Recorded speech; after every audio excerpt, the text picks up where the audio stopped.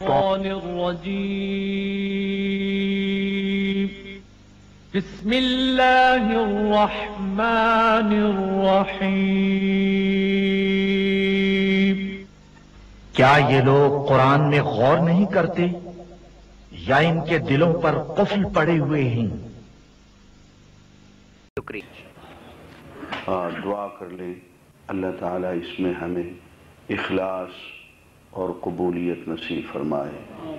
सल्ला सैदना मोहम्मद वाला सैदना मोहम्मद मुबारक वसलम अल्लाह यसर वला तुअसर वतमिन बिलखैर अल्लाह यसर वला तुअसर वतमिन बिलखैर अल्लाह यसर वला तुअसर वतमिन बिलखैर व अस्हाबिही अजमाइन बिरहमतिक या अरहमर राहिमीन और फरमाया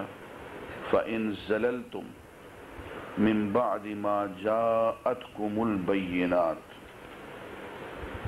अब देखो दीन की खुली खुली निशानियाँ तुम्हारे पास आ गई हैं दीन पूरे का पूरा एक चमकते हुए दिन की तरह से। तुम्हारा लईलुहा का नहारेहा इसकी तो रात भी इसके दिन जैसा है। इसकी दिन जैसी है। खुली खुली निशानियाँ, पूरी पूरी हिदायत।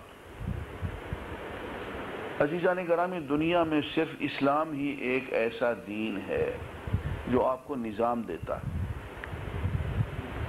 इस बात को ज़रा ध्यान से सुन लें। हम पे ये इल्ज़ाम है कि हम बुनियाद परस्त हैं। बुनियाद परस्त कौन होता है? जो पूरे दीन के निज़ाम को उठाने की कोशिश करे। कि अभी मियाँ, दीन पैच वर्क का नाम नहीं है। दीन जुजई तौर पे, इनफिरादी तौर पे चंद नेकियों का नाम नहीं है। तुम्हें आपस में प्यार कर लिया करो। एक दूसरे को धोखा ना दिया करो। झूठ ना बोला करो। हम साय को तंग ना किया करो। बहुत अच्छी बात है। ये क्या है? ये इनफिरादी, जुजई छोटी छोटी नेकियाँ हैं पैच वर्क्स हैं। इस्लाम इन पैच वर्क्स का नाम नहीं है। इस्लाम एक पूरे निज़ाम का नाम है, एक पूरे सिस्टम का नाम है। अब बदनसीबी ये है कि ये सिस्टम सिर्फ़ हमारे पास है। ईसाइयों ने ये सिस्टम गंवा दिया, यहूदियों ने ये सिस्टम गंवा दिया, और सारी कौमों ने ये सिस्टम गंवा दिया। उनके पास दीन एक इनफिरादी अमल से ज़्यादा अल्लाह और बंदे के दरमियान एक पर्सनल इनफिरादी जाती ताल्लुक से ज़्यादा उसकी हैसियत नहीं। हमारे यहाँ ये नहीं है भाई। देखिए मैं मिसाल देता हूँ। आप मगरिब में चले जाएँ। कोई शख्स यहूदी हो जाता, ईसाई हो जाता। मैंने उनसे पूछा, मैंने कहा, यार बताओ तो ईसाई हो गया, अब क्या करे? ईसाई होने के बाद वो इतवार के इतवार जाएगा। चर्च में अल्लाह की और जीसस पीस भी अपॉन हिम की वो मदा हमें कसीदे गाएगा। डेढ़ घंटा खूब वो वहाँ से वो रोध होके आ जाएगा। अब बाकी हफ़्ता, अब कारोबार उसने करना है तो किसकी हिदायत पे करे? मीशत का निज़ाम? यार वो तो एडम स्मिथ से चला हुआ है। वो तो सरमादाराना निज़ाम है। वो तो सूद पे मबनी है। उसका तो ईसा की तालीम से कोई ताल्लुक नहीं। उसका तो अल्लाह के कलाम से, इंजील से कोई वास्ता नहीं। किसी बाज़ार में चले जाओ, किसी चेंबर ऑफ़ कॉमर्स में चले जाओ, आपकी सारी तिजारती ज़िंदगी जो है, वो अल्लाह से और हज़रत ईसा की तालीमात से बिल्कुल हटके वो तो इंसानों की बनाई हुई है। ये पूरा आपका कैपिटलिस्टिक सिस्टम, इसका तो ईसाइयत से कोई ताल्लुक नहीं। अच्छा जी, सियासी ज़िंदगी में आप आ गए। ये जो वेस्टर्न डेमोक्रेसी है, ये हज़रत ईसा ने पढ़ाई थी हमें, ये अल्लाह ने सिखाई थी हमें। या इसका तो इंसान ईसाइत से, अल्लाह के कलाम से, हज़रत ईसा की ज़िंदगी से, सुन्नत से कोई ताल्लुक नहीं। अच्छा जी किसी से झगड़ा हो गया, मुकदमा हो गया, आप अदालत में चले आए। अब आपके जो कवानीन है, जो अदालती निज़ाम है, क्या ये कवानीन हज़रत ईसा के दिए हुए हैं? नहीं। क्या ये इंजील में लिखे हुए हैं? नहीं। ये तो फिर सब इंसानों के बनाए हुए हैं। यार, अगर उन इंसानों के बनाए हुए निज़ाम पे चलना है तो मैं उससे अच्छा निज़ाम बना सकता हूँ फिर। फिर यहीं बैठ के मैं खुद ही क्यों ना निज़ाम बना लूँ? फिर हमारे पास तो जो निज़ाम है, वो तो इंसानों का बनाया हुआ नहीं है। वो तो अल्लाह का दिया हुआ है। उस पर तो आका नामदार मोहम्मद सल्लल्लाहु वसल्लम ने अमल करके दिखाया है। उसकी बुनियाद पे तो एक मुआशरा कायम किया है। एक सियासी निज़ाम वजूद में लाए, एक माशी निज़ाम वजूद पे लाए, एक इज्तमाही दुनिया उस पर खड़ी करके दिखा दी, एक अदालती निज़ाम चला के दिखा दिया। हमारे पास तो वो महफूज है। हम तो उसका मुतालबा करेंगे। दीन तो इसका नाम है।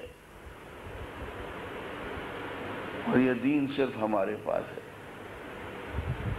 अल्लाह का दिया हुआ ये निज़ाम, इस्लाम का सियासी निज़ाम, इस्लाम का माशी निज़ाम, इस्लाम का समाजी निज़ाम, इस्लाम का अदालती निज़ाम, दोस्तों, ये सिर्फ़ हमारे पास है। दुनिया की कोई कौम ये दावा नहीं कर सकती है। कि उनके पास जो निज़ाम है, वो अल्लाह का दिया हुआ है। और उस पर उनके रसूल ने उनको अमल करके इसी तरह से दिखा दिया था। ये खैर, ये बरकत, ये दर्जा सिर्फ़ हमें हासिल है। हमें, हमारे पास है। तो हम इसको क्यों ना अपनाएँ? हम इसको क्यों ना नाफिज करें? हम क्यों ना पूरे के पूरे दीन में दाखिल हो जाएँ?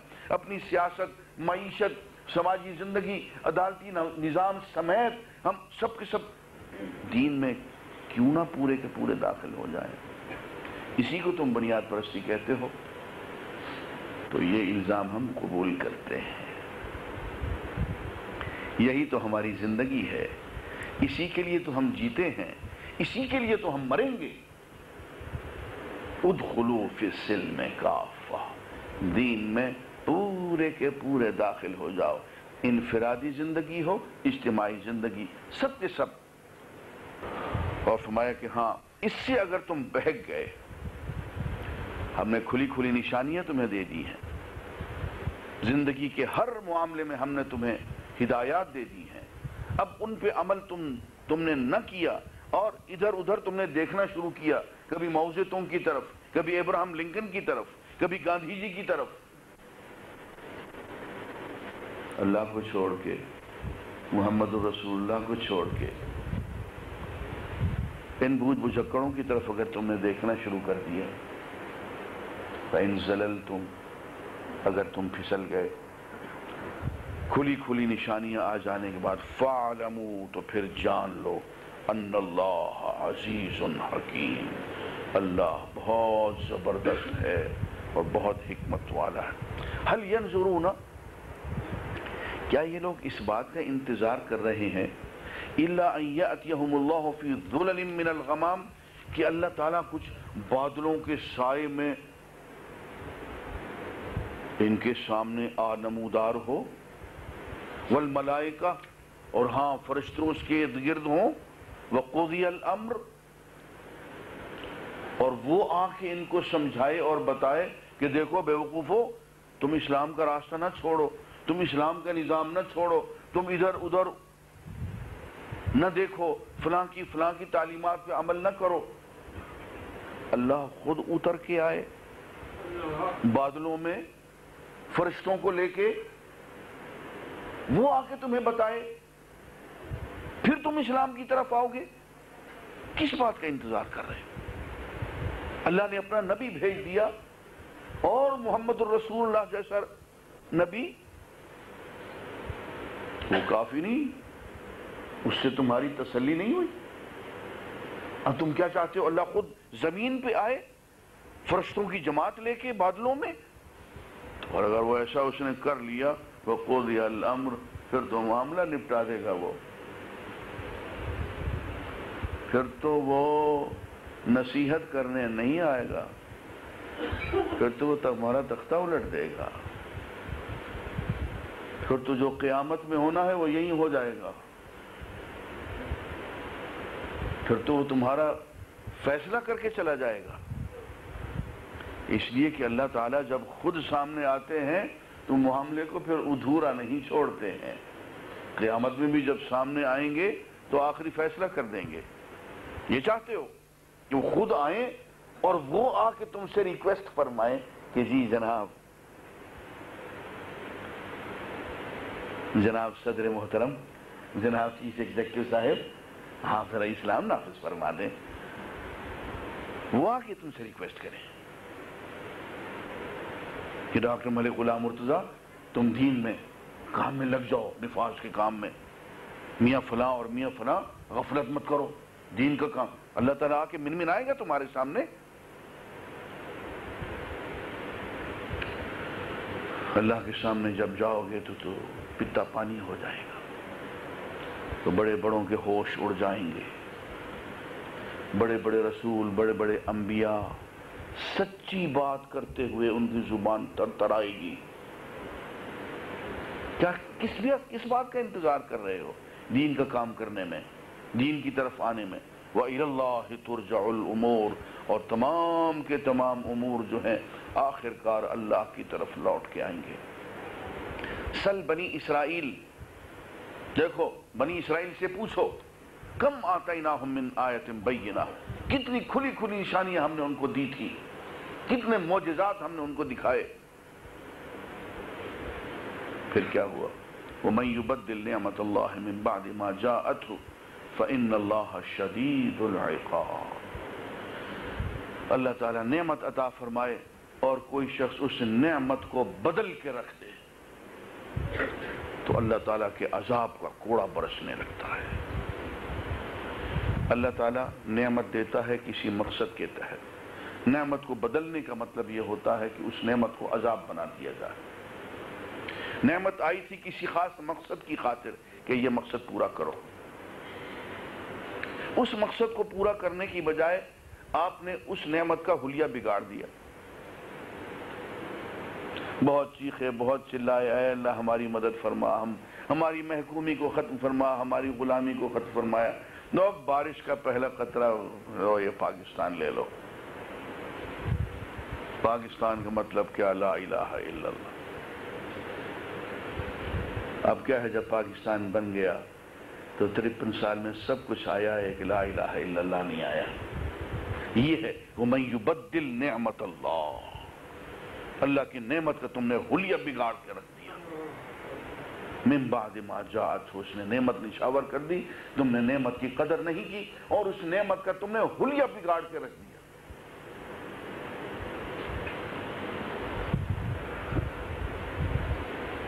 जब भी टेलीविज़न खोलते हैं पाकिस्तान का, मैं बार बार पूछता हूँ बच्चों से कि बेटे ये इंडिया है या पाकिस्तान है? वो कहते हैं, जी, पाकिस्तान है। कोई फ़र्क नहीं छोड़ा। कोई फ़र्क बाकी नहीं यहाँ के लोगों को आवारगी करते देखें। यहाँ के लोगों की शक्लें देखें वो इंडिया के लोगों की शक्ल, कोई फ़र्क न लगे। यहाँ के रवैये देखें, वहाँ के रवैये देखें, कोई फ़र्क नज़र नहीं आता। और अब वो खुलम खुला कहते हैं कि जी नज़रिया पाकिस्तान तो खत्म हो गया। वो जिसके तहत, वो जिसकी वजह से तुमने पाकिस्तान बनाया था, वो मकसद कहाँ रहा बाकी तुम्हारा? वो मकसद खत्म हो गया। अब उठाओ दरमियान से, ये क्या हदूद लिए बैठे हो? ये सरहदें लिए बैठे हो? इस सरहद पे हम बंदूकें लेके बैठे हुए हैं। उधर से तुम बंदूकें लेके बैठे हुए हटाओ इसको। जब तुम वो मकसद ही पूरा नहीं कर रहे हो, जिस मकसद के तहत तुमने ये पाकिस्तान बनाया। मैंने मियाँ नवाज़ शरीफ साहब को एक वाक़ सुनाया। उनके अब्बाजान भी साथ मौजूद थे। वाक़ सुन लें। वो वाक़ मुझे मौलाना जफ़र अहमद अंसारी रहमत ने सुनाया। मैं उनके यहाँ कराची में ठहरा हुआ था। कहते हैं कि पाकिस्तान बनने के बाद पंडित जवाहरलाल नेहरू आया। लियाकत अली खान ज़िंदा थे। तो नेहरू ने लियाकत अली खान से पूछा कि लियाकत ऐसे बुलाया। बेतकल्लुफ से शुरू लियाकत, एक बात बताओ। कराची में कितने शराब खाने हैं? लियाकत अली खाने कहा कि यार, मुझे तो पता नहीं। उसने मुझे पता है। एक सौ तेईस हैं। अभी कराची छोटा शहर था। ये, यानी लेट फोर्टीज की बात है, ये फिफ्टी की बात है वाली उसने कहा, मुझे पता एक सौ तेईस हैं लियाकत, इतने शराब खाने तो दिल्ली में भी नहीं है। मुझे एक बात बताओ। इसलिए तुमने पाकिस्तान बनाया था। इसीलिए इतने लोगों को कत्ल करवा दिया। अगर तुम्हें यही करना था, जो तुमने पाँच छह साल में किया है तो यार हम इकट्ठे बुरे थे? फिर इकट्ठे ही रह लेते। तुमने तो कहा था कि हम इस्लाम लाएँगे। तो वो तो तुम लाए नहीं। अब किस लिए जिद करके बैठे हुए पाकिस्तान पाकिस्तान? अजीजा ने ग्रामी ये है उमयुबद्दिल नेमत अल्लाह। जो अल्लाह की दी हुई नेमत को बदल देते हैं, उसका हुलिया बिगाड़ के रख देते हैं। मिम्बादिमा जात फ़िन अल्लाह शदीदुल इक़ाब। अल्लाह ताला फिर सख्त अजाब नाजिल करने वाला है। दोस्तों, ये वही दरिया है, ये वही आसमान है, वैसे ही बादल आते हैं, ये बगैर बरसे अब क्यों चले जाते हैं? इन दरियाओं का पानी कहाँ चला गया? ये वही दरियाए सिंध है अब कहते हैं जी कि सूखे तक इसका पानी नहीं पहुँचता। ये थर सिंध के फला फला इलाकों तक इसका पानी नहीं पहुँचता। अब वो हमें काला बाग डैम नहीं बनाने देते। कि सब पानी पहले से कम हो गया, ये डैम बनाओगे तो हम तो बिल्कुल ही प्यास से मर जाएँगे। ये दरिया सूख गए। ये बादलों में नमी नहीं रही। ये खेत खलियान में गंदम पैदा होती है, पूरी नहीं होती। ज़रिए मुल्क हो। दोस्तों, सब कुछ है, लेकिन कुछ भी बाकी नहीं बचा। इसलिए कि जब हमने अल्लाह की नेमत का हुलिया बिगाड़ दिया, वो जिस काम के लिए हमने ये घर बनाया था, यार, मस्जिद के लिए तुमने कता अराजी लिया जनाब, हमें ये दस एकड़ ज़मीन मस्जिद के लिए चाहिए। मस्जिद के लिए तुमने एक बहुत बड़ा कता अराजी ले लिया। बड़ी लड़ाई झगड़े करके, कब्जे ग्रुपों से खुद हटा के, अपना सर भी फड़वा लिया, अपने बेटे को भी जख्मी करवा लिया, अपनी बहू को भी तुमने वहाँ पे जख्मी करवा लिया। सब कुछ इतना करने के बाद इतनी कुर्बानियाँ कर तुमने दस एकड़ ज़मीन ले ली मस्जिद के लिए। अब उसके एक कोने पे तुमने शराब खाना बना दिया, एक कोने पे जुआ खाना बना दिया, एक कोने पे तुमने जिना का अड्डा बना दिया। नाम तुमने उसका रखा हुआ है मस्जिद अक्सा। तुम्हें शर्म नहीं आती? नाम तुमने उसका इस्लामाबाद रखा हुआ है। तुम्हें शर्म नहीं आती? शराब की बोतल ऊपर से देखने में जमजम का केन हो, जमजम उस पर लिखा हुआ हो, अंदर शराब भरी हुई हो। क्या वो जमजम बन जाएगा? ये है वो मयुबद्दिल नेमत अल्लाह मिन बाद मा जात। फ़िन अल्लाह शदीदुल इक़ाब।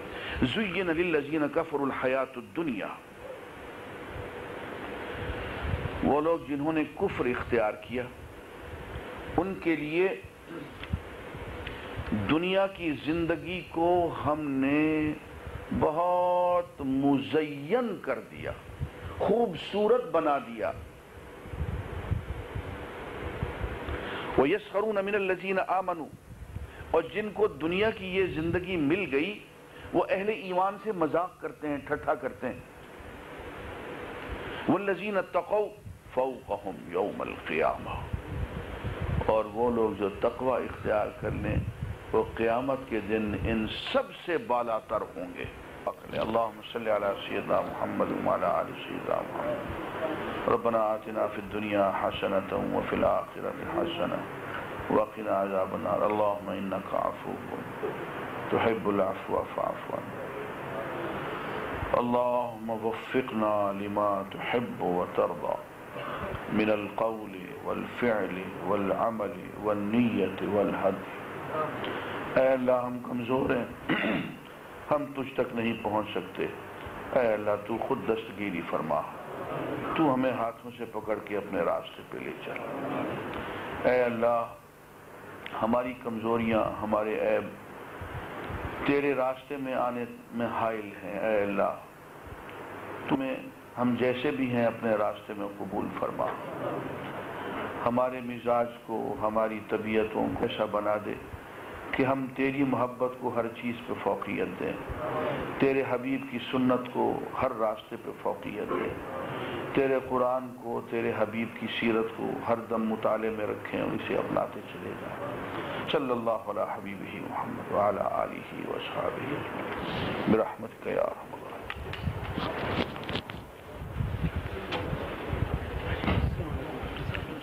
अल्लाह पाक, प्यारे नबी पाक के सदक़े में हमें कुरान करीम पढ़ने, उसको समझने और उस पर अमल करने की तोफ़ी अता फरमा।